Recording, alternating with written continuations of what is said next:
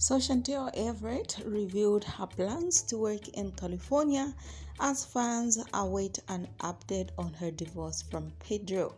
In a series of Instagram stories that Chantel was quick to delete, she revealed what her future career plans are. She asked fans, How is California right now for travel nurses? And she shared a photo of herself in scrubs. In a different Instagram story, for which Chantel shared a bikini photo, one of her followers told her that a traveling nurse would make 3000 to 3900 a week. However, her reaction was, oh nah.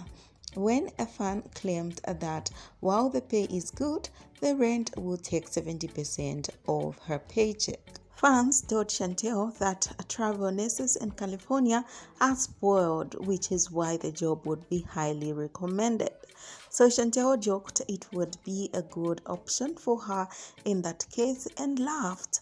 Now, another TLC viewer admitted that they couldn't survive in California without travel nurses. I don't know what you guys think, but do leave your thoughts in the comment section below. You know, I love to hear from you. Bye for now.